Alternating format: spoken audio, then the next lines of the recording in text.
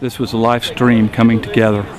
We wanted to give honor and basically show what the boys have done back in 1863, 150 years ago, when the uh, Fort Fosno line took the Culp's Hill.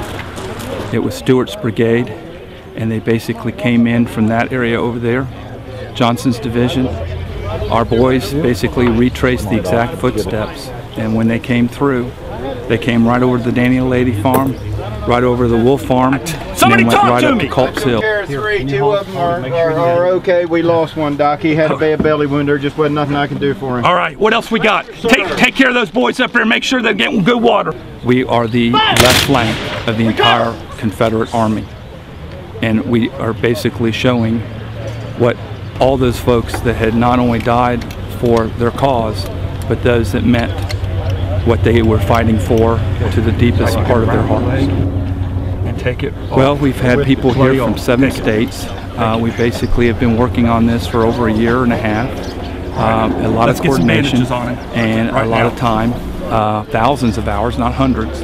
Um, as you can see, every one of these folks had to coordinate long distance. We put it together, and we still have another medical corps coming in on Sunday. They're actually over on the fight on the other side today.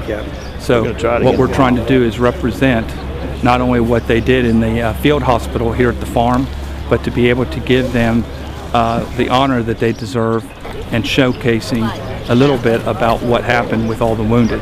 Inside this barn, they not only treated enlisted men, but officers. Charlotte, right here. Charlotte, stay with him. Talk to him. Say a prayer over him. Well, it was very limited, as you know.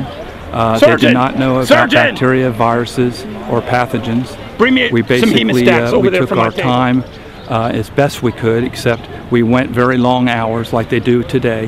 But triage was actually born in the 1860s, and right over on the other hill, we had Camp Letterman for the Union, where Jonathan Letterman headed up that triage, which we're still doing today.